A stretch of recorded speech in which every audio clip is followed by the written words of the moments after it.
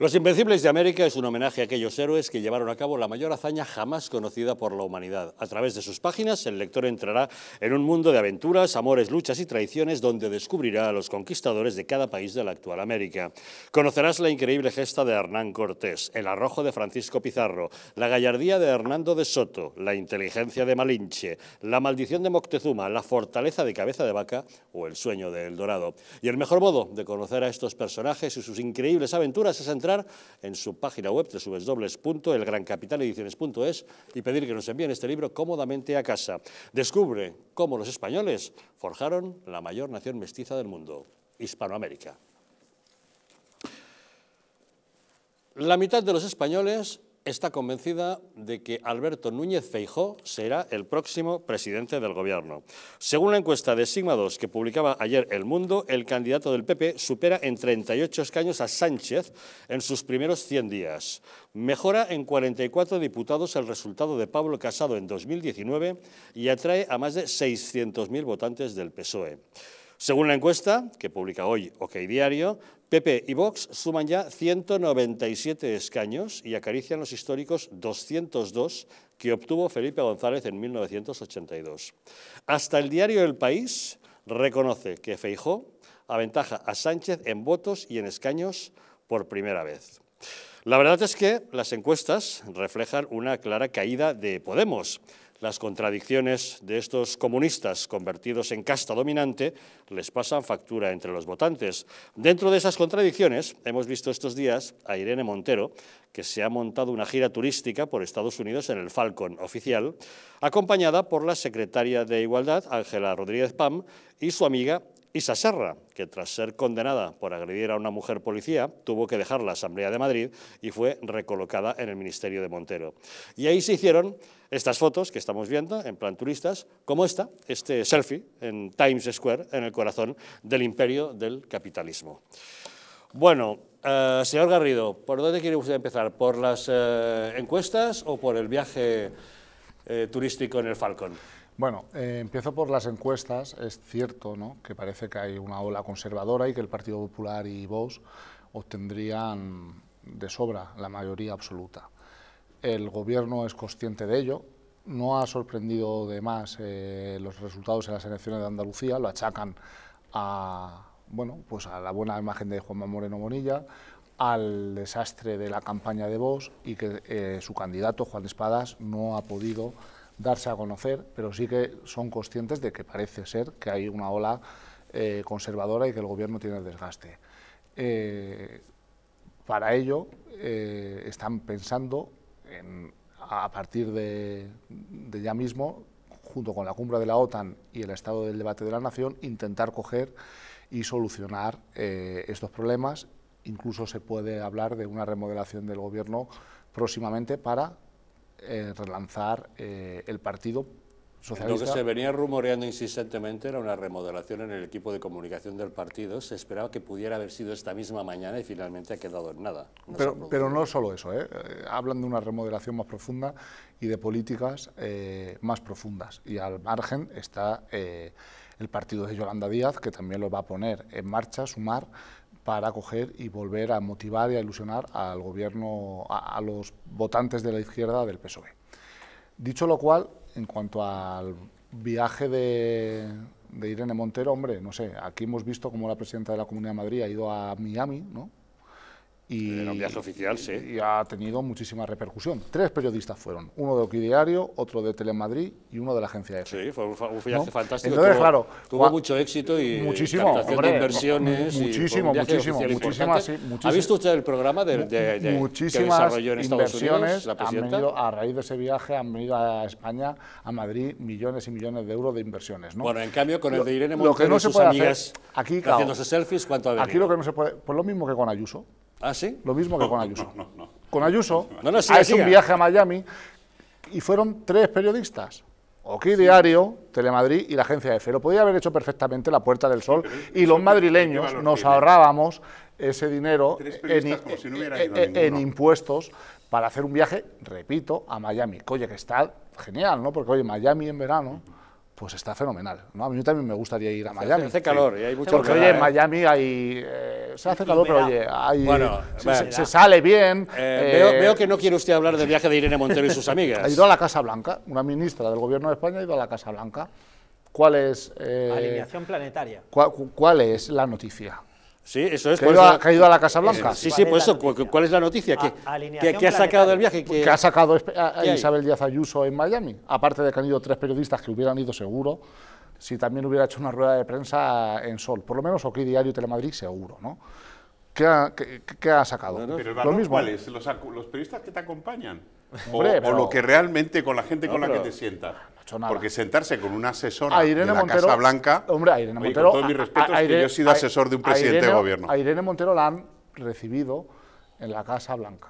A Isabel Díaz Ayuso no sé si en algún bar de Miami. Esa es la realidad. No, no. Esa es la realidad, sí, No, sí, es- claro, no ha el, hecho banco, nada. el Banco Interamericano de Desarrollo. eh, no sé. Hombre, yo prefiero la Casa Yo Blanca, creo ¿no? que- yo creo que te reciban en la Casa Blanca no está mal. La Cámara ¿no? de Comercio Pero que sí, que Miami- oye, yo- Unidos, yo donde envidio, tuvo una mira. reunión con empresarios. En realidad se envidia, porque Señor a, mí, Garrido, no a sé. mí Miami en verano me gusta, Señor me Garrido, usted que tiene información igual me puede resolver una pregunta. ¿Cómo es posible que hayan dejado entrar en Estados Unidos y en la Casa Blanca a una persona con antecedentes penales? Lo que, lo- lo- lo- ¿Por qué lo dices? Por Isa Serra. Bueno, es, es- No, es- es por si- volvemos, por si lo al, sabe. volvemos al primer bloque del debate, ¿no? Cuando la justicia se utiliza para... Usted- es muy grave lo que, está, lo que está ocurriendo en España. ¿Está Cuando- usted acusando al juez que condenó a Isa Serra de algo? De No, no, no. el Supremo, ¿eh? No, Lleve cuidado no. con lo que dice, ¿eh? No, no, no, por eso. Gracias por, No, no. gracias por la apreciación. No, le, le protejo, le protejo. No vaya a decir una cosa de la que pueda Sí, es que no se puede decir gratuitamente Aquí, algunas- eh, mira, Mónica Oltra, una- una condenada en Mónica firme Oltra por dijo, agresión. dijo algo muy grave que, que creo que nos debería hacer reflexionar. Y es, si se está utilizando la justicia para hacer condenas falsas... Pero acusa usted al Supremo de haber No, condenado no, falsamente estoy- a Serra. No, no, no, no, estoy haciendo una Ah. reflexión Por- que, por- que me gustaría me- me compartir. estaba que si la justicia está haciendo acusaciones falsas para eh, ¿Pero qué- condenar... ¿Pero qué, qué acusaciones falsas? Del líderes. gobierno, la fiscalía, Digo, ¿quién la maneja? me gustaría hacer esa reflexión. ¿De quién depende? Pues que decía. Pero, pero ¿qué, qué, qué acusación es falsa? ¿Qué condena claro, falsa? es que- que- que ¿Qué, juez, ¿Qué juez condena falsamente a alguien? No, no, ni mucho menos. No, sobre acusaciones de la fiscalía. Aquí lo que estamos Ojo, viendo es un juez no se inventa nada. Claro, claro. Sí, excepto Garzón. Claro, bueno. A mí me gustaría hacer esa reflexión porque si eso pasase Sí. con políticos conservadores, pues también yo lo criticaría. Bueno, pues ha, ha habido políticos conservadores que han sido sometidos a pena de telediario. A Paco Camps, la campaña mediática que le hizo el, El país de, en Valencia, de cuarenta y mira. tantas portadas por unos trajes y luego quedó exculpado de todo, se ha enfrentado a 11 acusaciones diferentes y de todas ha quedado exculpado en Va- Paco en Camps. en Valencia- A Rita Barberá la sacrificaron. Propios y ajenos, propios y ajenos, eh. cuidado que ahí eh, que cada responsable que tira la primera piedra, porque sus amigos también fueron los eh, silencios más clamorosos, pero la mataron a disgustos para que luego eh, no Ah, hubiera el- nada. El Partido Popular en Valencia, hablo como organización, ha robado. El PSOE en Andalucía Ha robado, ha, robado y por eso el, par- el PSOE en Andalucía el- lo no el PP. el PSOE en El- Andalucía yo tampoco lo ha- voy a lo ha- decir lo ha- que él se lo ha ha pagado, robado. lo ha pagado las urnas robado y el PP bajo, en los- Valencia bajo la marca Claro. de que podían estar en cualquier otro Pero- sitio robando a manos llenas. Pero ahora me están, porque me están tuvieron que- mezclando cosas. Usted ha lanzado bueno, la acusación no de que en este ninguna, país los tribunales No me metas en condenan líos, falsamente a. Sí, personas. no me metas en Dígame líos. a quién. No me metas en líos, Dígame a quién han condenado. Está- usted está señalando a los jueces. No, no, Bueno, mí- yo, estoy, yo- yo señalando a los medios de comunicación, a las, que, a por las ejemplo, penas de telediario. aquí- Pero ¿A qué se refiere usted cuando Pues mira, dice que se refiero, condena ejemplo, falsamente en España? Me refiero que, por ejemplo, eh, aquí se ha estado durante años diciendo que Podemos se financiaba ilegalmente. Y lo- y los- jueces lo han exculpado, ¿no? Abierto José María, y los periódicos. jueces lo han exculpado, ¿no? Pero- pero pues lo mismo ha que quedado- con Paco ha quedado- Camps. no, no se ha informado, han abierto periódicos. ¿Cómo que no? Usted lo está diciendo columnas, en televisión libremente aquí. Ha, ha abierto eh, telediarios y después Lo mismo se que, exculpa y no pasa nada. Lo mismo pero que los trajes de Paco Camps, que a, a Paco Camps le hicieron dimitir de presidente de la Generalitat. De Podemos no ha dimitido nadie por esos infundios. En Valencia el PP Que luego no ha habido Sí. condena de cer- ningún o- juez. o- o, eh, o altos cargos del Partido Popular en Valencia, muy altos cargos, la mano derecha de Camps, la mano derecha de Barberá, han robado. Y eso es así. ¿Qué, qué condenas hay? Hombre, hay unas cuantas Bueno, pues, en Valencia. ¿y, hay y- unas y- y cuantas. qué tiene usted en contra de las condenas? Si usted está acusando a los jueces de que no condenan Claro, o de que sí qué condenan, bien, ¿en qué, qué bien, quedamos? que les hayan No, yo condenado. lo que digo es que si se está utilizando la justicia, vamos a ver. Yo aquí- querría, yo quería responder a, lo de la ola conservadora. A ver, Pedro, sí, por favor. A ver, eh, las encuestas que reflejan, sí, eh, un- evidentemente un cambio, un cambio político que, está a las puertas y que ojalá, eh, según mi opinión, sería bueno que se, que se consolidara. Pero claro, cuando, cuando habla José María Garrido de ola conservadora, es que es una ola conservadora de gente que quiere conservar su puesto de trabajo, gente que quiere conservar su sueldo, gente que quiere conservar su casa, gente que quiere conservar su modo de vida, por modesto que fuera, sobre todo los, los- los más modestos. Bueno, pues eh, bienvenida a esta ola conservadora. Personas que quieren conservar también la confianza y el orgullo en su propia nación y en el legado de su nación y en la historia de su nación. Bueno, pues todo esto, si esto es lo, que es la ola conservadora, bienvenida sea, ¿no? Ante un gobierno que eh, lo único que está dejando es ruina visible y ruina invisible, ¿no? Eh, y negociando y pactando y llegando a acuerdos con quienes quieren destruir nuestro, nuestra nación, ¿no? Bueno, pues eso se ha demostrado, no solo en las encuestas del país que estamos hablando, sino en los resultados de Castilla y León el 13 de febrero. 13.000 votos ganó el, El PP cuatro- al bueno, PSOE. pero, pero Ojo, ahí eh, está, ahí está. cuidado. Oye, no son buenos tiempos para la política, no Gobernando son con buenos tiempos un para nadie. que es, y ahí, es ahí un, se mantuvo. un, un gobierno modélico. Ahí se mantuvo. Eh, en el 4M Lo bien creo que que, creo, creo que ahí sí que dimos un, un buen vuelco gracias a, A a- al papel de, de Isabel. Díaz Ayuso, a la Y- valentía y al papel de Pablo Isabel Díaz de- Ayuso de y sobre todo de una de persona de que sabe hablar claro de y que llega a la gente porque ella no se disfraza a ellas como es y ella Aquí quien llega de, muy quien directamente de verdad ha ganado, quien de verdad ha ganado las elecciones, el líder político más importante en este país ahora mismo es Juan Manuel Moreno Bonilla. Y ha ganado las elecciones A- a- en, a un discurso sin insultar al votante socialista, con un, modo- con Eh, un discurso de moderación y centrado, totalmente contrario Sí, a el de Isabel Díaz Ayuso, No, no, que le faltó mucho no, para la mayoría absoluta. Y, contrariamente- y totalmente distinto al de ¿Cuántas, Castilla León, cuántas veces que por 13.000 ha votos no perdió. Juanma Moreno que su referente era Isabel Díaz Ayuso? Y Felipe González. Pues eso contradice lo que, González. lo que tú estás Y diciendo. Felipe ¿Por qué? González.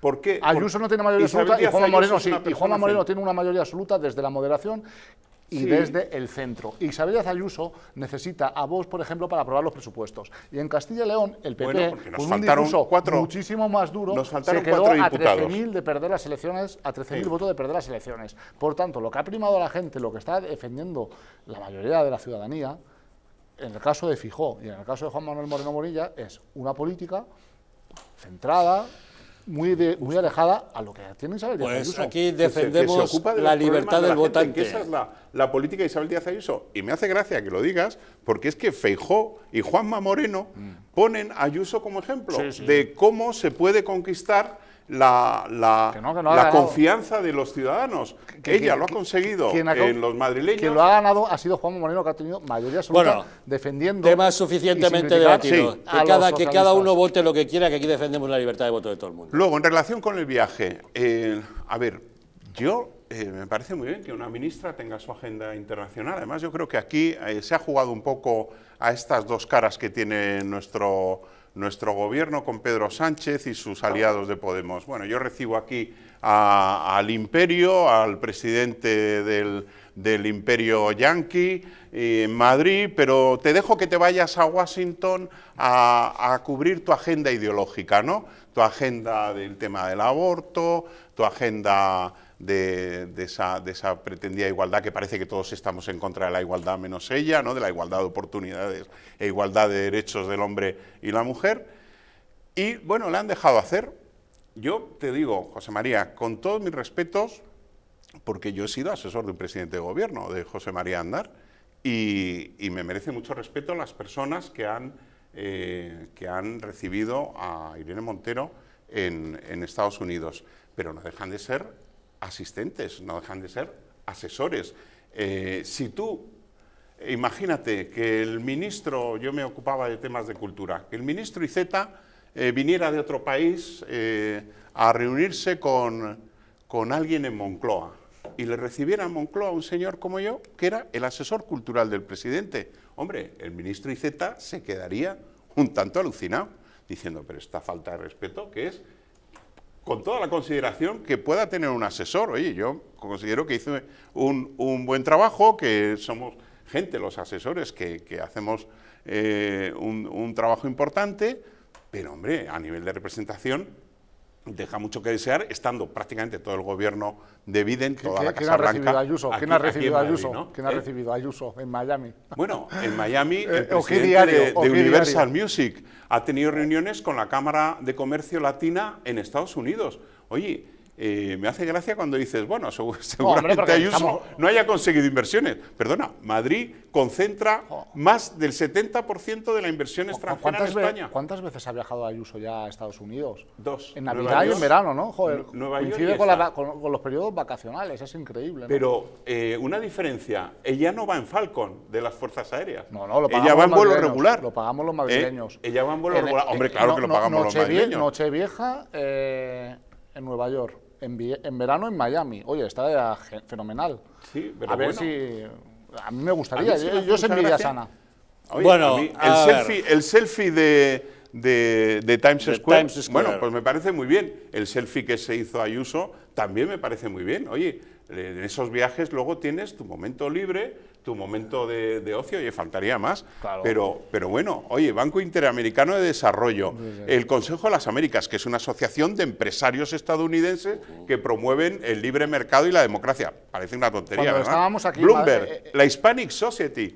Eh, bueno, Cuando es que la Hispanic Society es un referente Cuando de la cultura Cuando hispana estábamos aquí en Madrid, Estados Unidos. en plena pandemia, esta Navidad, que no podíamos muchas personas ni siquiera reunirnos con la familia, oye, Ayuso tomando las uvas en Nueva York. Ya está. Eso es lo que es. Bueno. Y ahora, y en verano en Miami, Sí. y entonces estamos criticando el viaje de Irene Montero porque va a la Casa Blanca. ¿Y sabes lo Pues que vale, pasaba pues con bien, Ayuso pues en Nueva York, vaya- con aquello de las uvas? Que la gente decía, oye, en Madrid, ¿qué estáis haciendo? En Madrid, ¿qué estáis haciendo? Porque sois un ejemplo en todo el mundo de cómo se puede compaginar la actividad económica en contra del cerrojazo de Pedro Sánchez con el control Bueno, de la eso, pandemia. eso ya pasó a la historia, quedó Sí, evidente. bueno, pero- pero- Eh, Pedro Sánchez le puso la prueba a Isabel Díaz Ayuso y quedó demostrado que las políticas de Ayuso eran las Pero en su correctas. viaje- en sus viajes Por eso hubo una menor incidencia y pasó todo lo que pasó y por eso se lo A agradecieron las urnas, que tuvo un éxito apabullante en las elecciones. Don Fernando.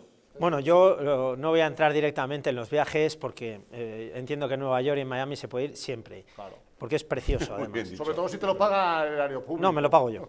Pero bueno, quiero decir que a mí el problema que viene es que Irene Montero, para mí, el problema es que en- entiendo cómo ha llegado a ser ministra, lo que no entiendo cómo ha llegado a ser cajera. Entonces, claro, con lo cual... Con lo cual, ¿Qué ha con- con lo ¿Qué ha sido cual eh, mi problema está ahí, que yo no sé cómo ha podido llegar a, Por lo menos ha sido cajera. Irene Montero, por lo menos ha podido sido llegar a cajera. ser cajera. Por lo menos ha y sí cajera. entiendo cómo ha podido llegar a ser ministra. sí. Isa Serra Ayuso también ha sido condenada Sí, por lesiones, por atentado a la autoridad y, a- y a- y posiblemente a, su- a suelta de desórdenes públicos, pero tampoco entiendo qué hace allí una persona que está condenada. Le faltaba a Mónica Oltra también, podía haber ido Mónica Oltra por ocultamiento, falsamiento y la responsabilidad en abusos sexuales, etcétera, etcétera, etcétera. Repito, ¿quién es Ayuso? Pues la que ha ganado en Madrid por mayoría. ¿Quién es Ayuso? La que está dejando no- Madrid, no era ni está no dejando era Madrid la primera comunidad ni en inversión extranjera, Fernando, tú has- la que está llegando a, la creación de mayores puestos de trabajo, la que está consiguiendo la rebaja No es fiscal, lo que indexar diciendo. precisamente Has criticado a Irene Montero el por no tener vida, por no deflactar tener el IRPF una trayectoria, referente al tra- tema de los una salarios, trayectoria con el tema de la antes de la política. Isabel Díaz Ayuso, ¿qué ha sido antes de la política? No, no, te digo que es ahora, igual que Irene Montero y Isa Serra. Isa Serra es una condenada. Irene Montero. Todavía no ¿Dónde- entiendo cómo puede ser cajera. como eh, periodista. ¿Dónde ejerció Isabel Díaz Ayuso? Díaz Ayuso. A no ver. te voy a leer ahora el currículum de Isabel Díaz Ayuso, que es conocido de todo el mundo. Es verdad. Si hablamos todos a la vez no se escucha nada. Y para acabar, terminando. Y, y- y para acabar, para mí lo más importante de todo esto, que, luego viene el resultado electoral, que por supuesto el batacazo de la izquierda va a ser brutal, a mí lo que me preocupa de este batacazo brutal que se va a pegar la izquierda, aparte de los votos del PSOE y de Podemos o Sumar o, o la alineación planetaria que vayan a tener, es que Juntos por Cataluña están ahí todavía y hay que combatir precisamente a esta izquierda. El Partido Nacionalista también está ahí con un 1,5%. Bildu también va a entrar dentro del Parlamento. eh, la CUP va a entrar en el Parlamento, el BNG va a entrar en el Parlamento. Teruel existe. Les bueno, ilegalizamos, Teruel ¿qué existe. hacemos? Les ilegalizamos. Pero lo- para mí lo importante precisamente es que hay que cambiar la ley y legalizar esos partidos Claro políticos, sí. porque son... Oye, que, que- que son- solo se presente el PP son- y déjame, déjame que acabe, por favor, yo no te he interrumpido en ningún momento, No hay que- porque son el verdadero cáncer a España junto con la izquierda que se va a pegar el bofetón.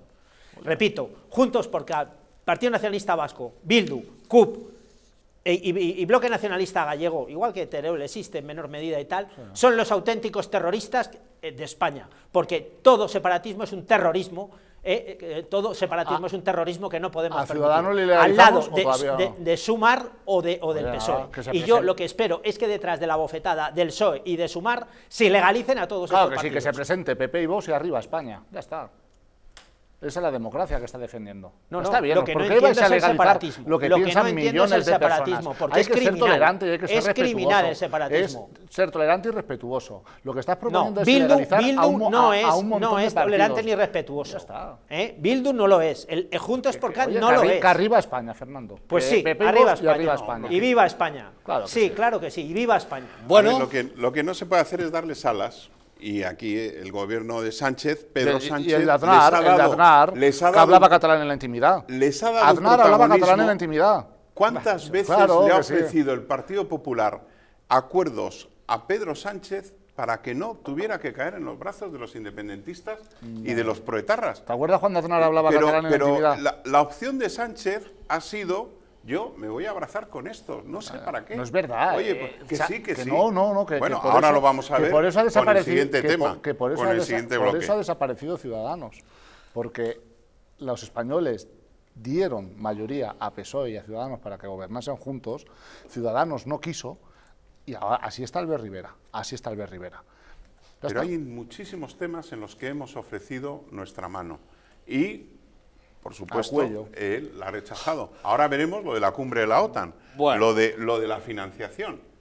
Es que nos han exigido que lleguemos, que dupliquemos lo que tenemos ahora, que serán 26 mil millones, creo, de, de dólares o de euros para, Son unos 13.000 para millones de 2029. euros, más o ahora tenemos 13.000, creo que es- doblaríamos. estamos en el 1,1%, Pero claro. si hay que llegar al 2 serían otros 13.000 Eso es, eso es un 2% del PIB. Entonces, eh, ¿qué vamos a hacerle? ¿Salvarle a Sánchez o salvar a España de ser un Estado que incumple sus compromisos con sus aliados?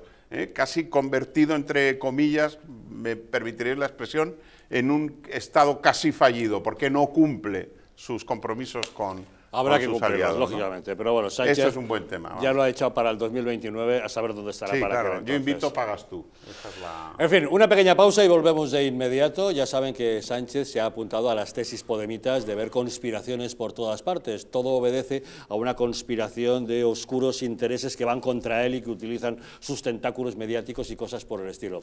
Una pausa y les contamos.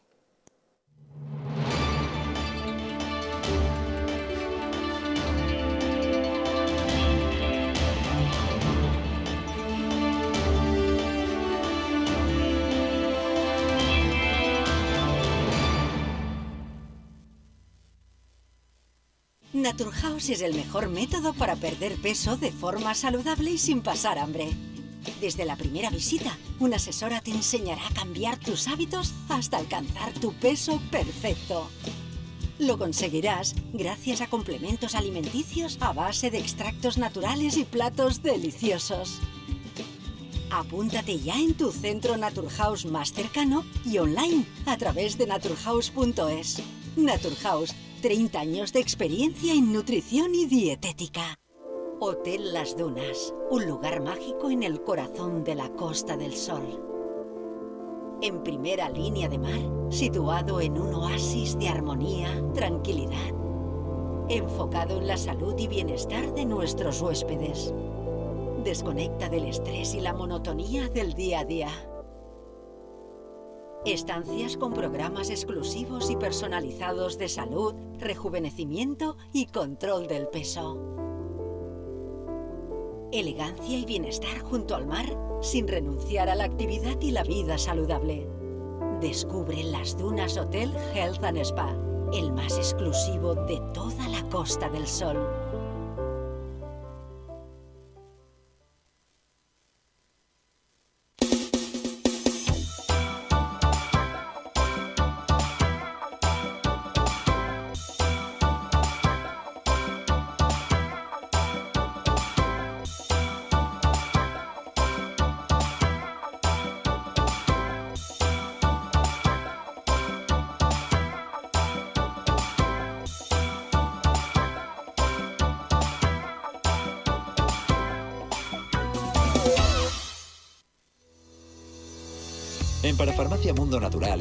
Más de 25.000 productos de las principales marcas.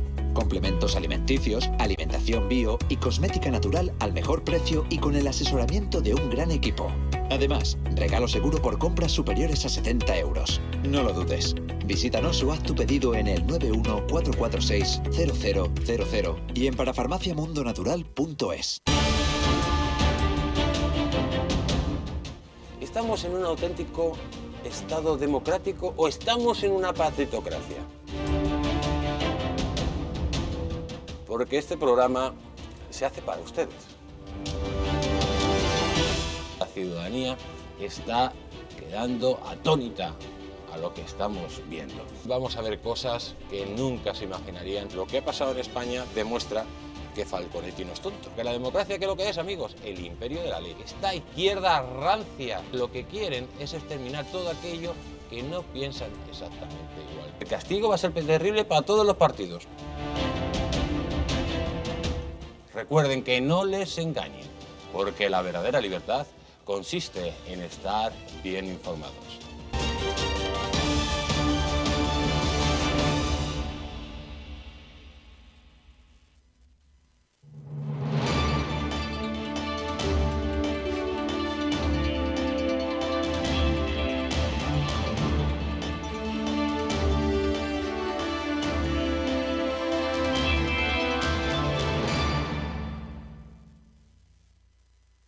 Estos tiempos de pandemia hemos vivido confinamientos en los que nos hemos visto recluidos en nuestras casas con un montón de cosas que se nos acumulaban, que si ocuparnos de los niños, los deberes, el teletrabajo, que si las labores caseras, la compra, en fin, muchas obligaciones que nos pueden estresar o incluso afectar al sueño. Por eso hoy te presentamos Calm Plus de Mundo Natural, un complemento a base de dos aminoácidos esenciales como L-triptófano y L-treonina y una sustancia activa como L-tianina, una combinación que Calm Plus complementa con nutrientes como la nicotinamida y la piridoxina que contribuyen al funcionamiento normal del sistema nervioso y a la función psicológica normal y que además ayudan a disminuir el cansancio y la fatiga y mejoran nuestro estado de ánimo. Relájate y encuentra Calm Plus en tu tienda habitual y en Parafarmacias Mundo Natural, aunque si quieres puedes solicitarlo directamente en su página web parafarmaciamundonatural.es o llamando al teléfono 914460000. Quédate en casa con Calm Plus, es de Mundo Natural. Pedro Sánchez se ha sumado a las tesis de Podemos y habla ahora de una conspiración de poderes ocultos con intereses oscuros que utilizan sus terminales mediáticas en contra del gobierno. Yo, yo, creo que tenemos que ser conscientes de que este es un gobierno muy incómodo, muy molesto para una serie de determinados poderes eh, ocultos en nuestro país que no se presentan a las elecciones, que tienen intereses oscuros. El presidente hacía estas afirmaciones un par de días después de haber asegurado que los rumores acerca de su marcha del gobierno son invenciones de señores con puro en los cenáculos de Madrid. Estos son los cenáculos de Madrid, de la típica villa de Madrid, de los señores con puros que se juntan y que dicen, bueno, vamos a contar que Sánchez se quiere ir, porque como va a perder las elecciones, que... Mire, eh, tratan de caricaturizar el proyecto político diciendo que yo poco menos que estoy aquí por un interés personal. Pedro Sánchez se apunta a las teorías conspiratorias mientras sigue adelante con su ley de memoria democrática, con la que pretende alterar el pasado para adaptarlo a su ideología. Se presta mucha atención al franquismo, que acabó hace casi 50 años, y se trata de olvidar toda la sangre derramada por ETA en tiempos mucho más recientes, algo que sin duda no podemos olvidar.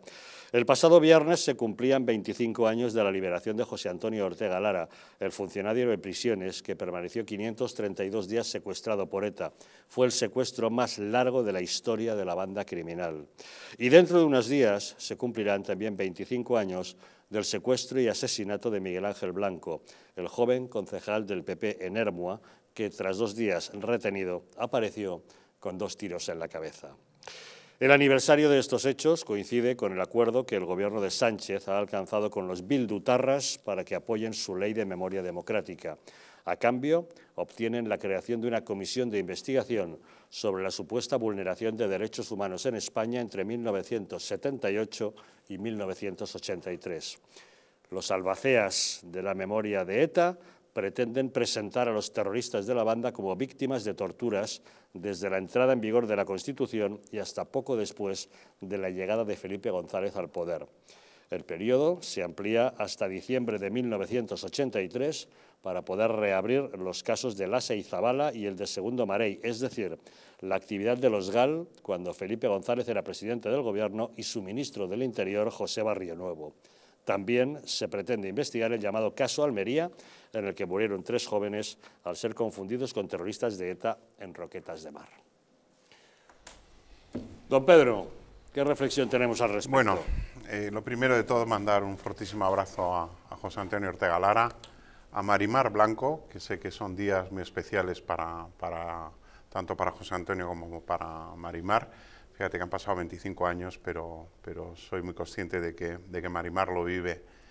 Y, bueno, el otro día tuvimos una comida en la Asamblea de Madrid, ella es diputada, estuvimos recordando a Miguel Ángel y bueno, no pudimos, ninguno de los que estábamos en la mesa pudimos eh, resistir la emoción y, y, Marimar nos hizo llorar a todos recordando, recordando aquellos terribles días. Bueno, em, estuve ayer también con Ana Iríbar, la, la mujer de, Gregorio Ordóñez, con Ana Velasco en, la misa Corpore Insepulto de Fernando García de Cortázar, un sacerdote jesuita valiente que también hizo frente al terror de ETA, que estuvo muy cerca de las víctimas.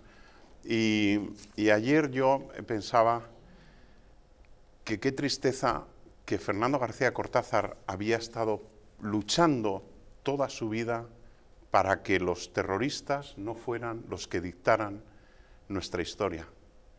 Y que verdaderamente haya fallecido Fernando en los días en los que estamos todos con un revoltijo en el estómago pensando que va a ser al final ETA la que nos cuente lo que pasó en aquellos años de plomo, porque ampliar la ley de memoria democrática hasta el año 83 coincide con la parte más cruenta de la actividad de ETA. En el año 80, quiero recordar, se produjeron 97 asesinatos.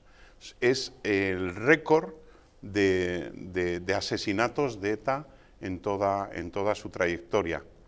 Y verdaderamente, que Pedro Sánchez, que se haya plegado a que nuestra eh, transición, nuestra España constitucional, se hinque de rodillas, para tener que soportar el relato de aquellos años, sancionado por ley, por parte de los que acudieron al terrorismo precisamente para que España no pudiera consolidarse como una democracia con sus derechos y libertades, porque fueron los que intentaron dinamitar, nunca mejor dicho, ese proceso de conquista de las libertades, y que sean ellos los que ahora tengan que decirnos que no, que es que el franquismo duró hasta el año 83, como dijo la portavoz de Bildu cuando anunció el acuerdo.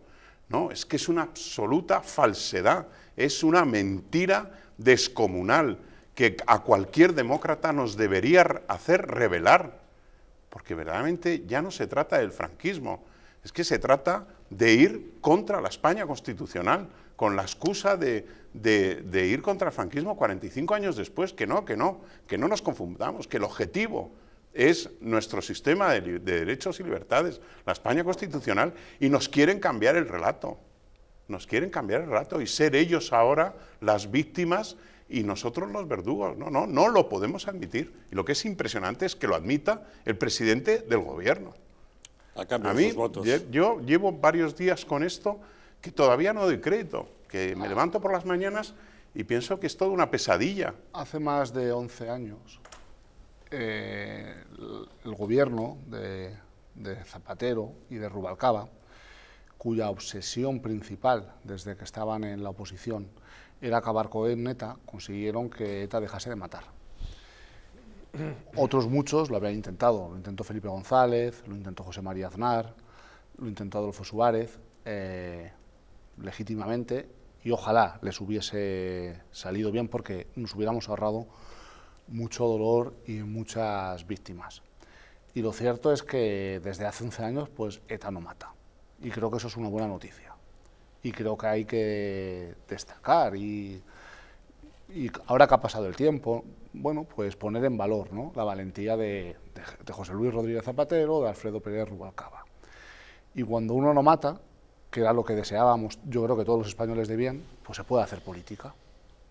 Yo no estoy a favor de los postulados de Bildu, no me siento cómodo, no soy ni independentista, ni, eh, ni de extrema izquierda, etcétera, etcétera.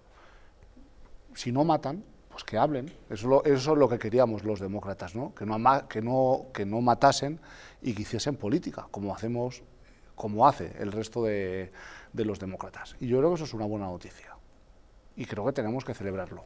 Y que, haga, que, que hayan pasado 11 años sin ningún muerto, pues yo creo que es algo para que tenemos Sí. que celebrar y que tenemos... Dos, dos acotaciones, si me permite, Fernando. Eh, José Luis Rodríguez Zapatero y Alfredo Pérez Rubalcaba eh, son los que están gobernando cuando ETA decide eh, dejar las armas. Pero ETA decide dejar las armas por el trabajo que venían haciendo anteriores gobiernos, también eh, socialistas, de José María Aznar, y el impecable, brillantísimo trabajo que yo creo que fue ya un punto de no retorno, la liberación de Ortega Lara, de nuestras fuerzas y cuerpos de seguridad del Estado. Por supuesto. Es verdad que ellos estaban en ese momento donde estaban, pero se produce gracias también a Claro. que la sociedad española, después de lo de Miguel Ángel Branco sobre todo, dice basta ya. Y el 11M. Hasta aquí. Y el 11M también influye, ¿no? Yo creo Eh, que, que- el 11M también influye. Por supuesto. En la sociedad española, es decir, Pero las armas no van a ningún lado, ya, ¿no? la Bien. sociedad española había plantado cara. Y- lo lo, Y, y todo que eso, quería y puntualizar. todo eso está muy bien, pero no vamos a pedir ETA perdón de ¿eh? matar. y a darles las gracias porque ya no nos maten. ¿eh? Eso tampoco. Sí, ¿eh? no, no, pero- no, no. No me diga usted que hemos de dar gracias por no, No, no, matarnos. no, no. ¿eh? No, No. pero a eso voy, No, a yo eso no he voy. dicho eso, yo no he dicho No eso, se puede olvidar. Han derramado mucha sangre, han hecho mucho daño. ¿eh? No podemos andar ahora aplaudiéndoles. Qué bien, ya no nos matáis. Cuando- Sentaros aquí cómodos. No. ¿Cómo se va a olvidar? No se puede olvidar. Que Cuando- paguen por los crímenes. Yo no sé, Y hay no se 300 puede crímenes de ETA sin Sí, resolver. eso iba yo. Claro que sí. José María, coincido aparte contigo de los, totalmente, Javier. aparte de los crímenes sin resolver, que es que nadie, es que, es que en la Audiencia Nacional se creó un juzgado especial para resolver los, eh, los crímenes no prescritos Y de, deben de- de- ETA y de otros todos, grupos todos terroristas. los crímenes es, que, de es que no ha resuelto ninguno, porque los presos de ETA No y todo el colaboran. entorno de ETA no colaboran. Y se acogen a todo tipo de beneficios penitenciarios sin colaborar. Y luego otra cuestión que me parece grave y que se ha abierto la puerta aún más eh, con lo de la ley de memoria democrática, que es la justificación de los crímenes. No se puede justificar. sí, volvemos al mito de la ETA buena. No, no hay ETA buena. Hubo una ETA buena que mató durante la dictadura para que los españoles Mataron a mucha conquistáramos más la gente libertad. durante la democracia. Y hay una ETA mala. No, no, ahora es prolongar el mito Bueno. de la ETA buena por lo menos hasta el año 83. Nos quedamos sin tiempo, Fernando. Bueno, vamos a ver, yo desde luego un abrazo Sí, No hay a, dieta mala, ni Ortega. perdón, no hay dieta buena, perdón. a Venga. Ortega Lara y a Miguel Ángel Blanco, ¿qué decir? Yo me llamaron para subir arriba, y lo digo así, cuando estaba poniendo gasolina yendo al Escorial y dije que sí subía. Evidentemente, un recuerdo también para todas aquellas víctimas de los asesinatos que no han sido esclarecidos ni investigados. Con todo esto, forma parte de nuestro dolor, del dolor de todos los españoles con la historia. No se ha investigado suficientemente a ETA, porque también tiene sus propios asesinos dentro de sus propias filas que han matado como a Pertur, etc. El Grapo, donde han quedado también mm, muchos asesinatos sin esclarecer, el Frapo Terrayure. Evidentemente, esto es la izquierda. Segundo, referente al tema de la memoria histórica o memoria democrática, jurídicamente no tiene ni visos ni siquiera de, de posibilidades de prosperar. ¿Por qué? Porque penalmente existe la retroactividad de las condenas, porque existe la amnistía de 1977 y, esa amnistía de 1977 nos lleva a la prescripción de los, de, de lo- de los posibles hechos que se pudieran encontrar. Y esta amnistía de 1977 ya pone punto final a la posibilidad, como bien apunta desde la juez Servini, Argentina, eh, que quería establecer un caso único, eh, la, posible eh, posibilidad de que hubiera un genocidio o crímenes de lesa humanidad. Repito, a partir de esta amnistía de 1977. Con lo cual, esta ley de memoria, de- de memoria democrática es una ley bastarda de este gobierno. Y tercero, decirle a Sánchez una cosa, tic-tac, tic-tac, tic-tac, te queda poco. Eso lo, dec- lo decidirán las urnas y lo decidiremos los españoles. Si Tic, le queda poco tac, o no. Tic, tac. Lo tic, decidirán los tac, españoles. Por tic, supuesto. Por, por- por más que nos pese, porque claro, a lo mejor también quieres ilegalizar al Partido Socialista. Pero Pues de sí, desde, desde, la, desde la Segunda República, exactamente, sí. arriba España. Sí, siempre. Bueno, Oye, pero vo- vos, No, a mí- Ciudadanos, eh, ¿lo legalizas o no, Fernando? ¿El qué? A Ciudadanos. Lo digo para ver qué opciones se pueden votar en tu es democracia. que, eh, cualquier partido que tenga delitos de sangre... vamos a ver, aquí estamos hablando de un partido que ha sido el brazo político de una, de una de banda que que criminal que ha PSOE. asesinado a gente y frivolizamos y decimos, venga, vamos a pero- legalizar a todo el no, mundo. no, no, es decir, se ha dicho que usted, que usted apoya que un partido... Henry Batasuna fue ilegalizada por ese juez que usted admira tanto, Baltasar Garzón, acaba de decir ¿eh? que fue condenado que, por hay que prevaricación. legalizar al PSOE. Se acaba de decir que hay que legalizar al Claro, PSOE. y- Es que En tiene esa delitos de sangre. Oye, Es que- eso- Pues frivolicemos todo lo que usted quiera. es que pero que Carrillo no, era que del PSOE. Todo lo que que usted quiera. Hay que legalizar Pero vamos a ver. ¿a usted le parece él. bien que los terroristas... Yo, no, yo no, no estoy a favor de la dictadura y no creo que haya que legalizar al PSOE. que no? Y es muy fuerte que en una televisión se, se diga que hay que legalizar al PSOE con millones de votantes. Oye, eso pues, no es frivolizar. PSOE lo acaban creo- de Es, decir. es usted el que está echando ese sedal. Pero si eh. lo acaba de decir yo, le Fernando. estoy- yo le estoy preguntando... Fernando lo acaba de de decir. No, entre usted al trapo que le pone. Vamos a ver, yo le estoy preguntando por Bildu. ¿Qué le parece a usted, Bildu? Muy mal, no me, no me gusta, no me gusta, no me gusta Bildu. No, no, no, no voto en el País Vasco, no voto en Euskadi, pero si votase en Euskadi, no votaría a Bildu. Pero eso no quiere decir que, por ejemplo, yo defienda que haya que legalizar al PSOE. Como ¿Pero aquí se ha quién está diciendo que Lo legalizar ha al dicho PSOE? Fernando. Bueno, usted le No, está pinchando con eso, no, Fernando ha dicho que hay que legalizar al PSOE. Todos los partidos que tengan delitos de Fernando, ¿hay que legalizar al PSOE, el sí o no? PSOE El PSOE ha cometido terrorismo de Estado. Pues ya está, oye. Faisán Lo acaba de y decir, el hay que GAL. legalizar al PSOE. Pues ya está. Y Yo- eso forma parte de nuestra memoria. Ya está juzgado. Yo no creo que haya que Lo ilegalizar al PSOE. En todo caso, si alguno de sus miembros ha cometido lo algún delito, tremendo- debe ser condenado. Lo Pero es y es que ya vuelve a usar lo mismo de antes. Eh, es que el PP era corrupto, ¿no? Condene usted a las personas. de- Claro, es que el PSOE es, es. un partido criminal. ¿no? Condene ustedes a los A criminales. mí que me parece, dentro. me Es parece, que- es que me parece verdad, es que surrealista. a ustedes- ETA. Fernando, con el aprecio personal que yo te tengo. Sí, sí, yo también a ti. Pero, me parece surrealista que aquí se esté PSOE diciendo a que hay que legalizar a, a un partido político a como el. PSOE. Aquí lo que se está defendiendo es una dictadura. Joder. es Eguiguren que se está avisó defendiendo. a ETA. No, no. Pero- Sí, sí, se está defendiendo aquí. existe, Aquí, el GAL existe, aquí Fernando ha dicho que hay que legalizar existe. al PSOE, hay que legalizar Fernando, al PNV, eh, no a usted en Junts, ese trapo a, aquí no se está debatiendo de- de- en absoluto ilegalizar al PSOE ni a ningún partido democrático. Si considera usted que hay algún delincuente o criminal dentro de las filas de un partido, habrá que juzgar a ese delincuente o criminal. No condenar unas siglas en las que hay multitud de afiliados muy honestos y que entran en política por unas cuestiones eh, absolutamente democráticas. Si lo estoy diciendo con no, nombre y no- apellido. no entre usted en el trapo, que han utilizado Pero se lo ha dicho desde- Fernando. Tú te referías- Javier, desde la izquierda, Fernando. a GAL. avisó a ETA. Tú te referías a los GAL, No, no, y a Faisán. de Faisán. Ter- desde el terrorismo de Estado, desde que montan el terrorismo de Estado, yo he estado en el palacio, desde que se crea el GAL, detrás vino el Faisán, y ahí hay colaboración con banda armada, y creación de una banda armada por parte del Estado, y por parte del partido que se encontraba gobernando, y la X era el señor Felipe González, ¿Y qué propones? Ilegalizar al PSOE, ¿no? que se investigue. Ah. Bueno, han matizado Que se investigue. Oye, gracias. A, lo, a lo que... Y repito, Eguiguren avisó a ETA. Gracias a, a políticos como Rubalcaba, España es un país mejor. Y hay que rendir memoria. Yo coincido, ¿eh? que creo que hay que recordar la historia. ETA no se debe olvidar. Eh, a mí me da mucha pena. Entonces, ¿por qué tiene a, a mí me da mucha pena. ahora el pasado que- que criminal me da ETA? mucha pena que los jóvenes eh, de España, muchos jóvenes, no sepan qué es ETA. Ni el eso, grapo, eso es una vergüenza. ni el grapo, como el dice. Pablo Es una vergüenza. Como dice. Pablo Aquí hay, hay que estudiar, hay que FRAP. recordar y hay que honrar a todas las víctimas de ETA todos los días, todos los días, porque han dado su vida por la democracia. Muy bien dicho.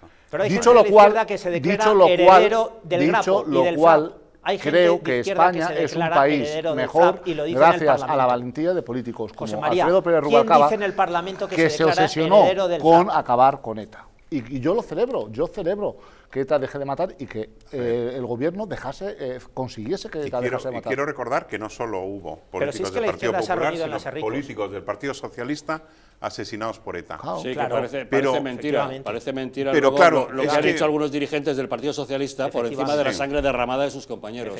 Y como le dijo la madre Yo- de Pagaza al pobre Pachi López, eh, que haréis cosas que no se le harán la sangre. Y efectivamente... Pachi López, hecho. gracias al gobierno de Pachi López, con el Partido Popular, todo hay que decirlo, eso también fue un punto de inflexión para que ETA dejase de matar. Hacer cosas que no se le harán la Para que. ETA dejase O sea, de pa- matar. pactar con el Fue entorno. importantísimo. etarra. Y yo defiendo que ETA no mate y por tanto que se haga política. Es lo que defendíamos los demócratas, que no se mate, Yo- que se hable. yo es que- Pero Eso es lo que hay que defender. Yo es que exijo que no se mate.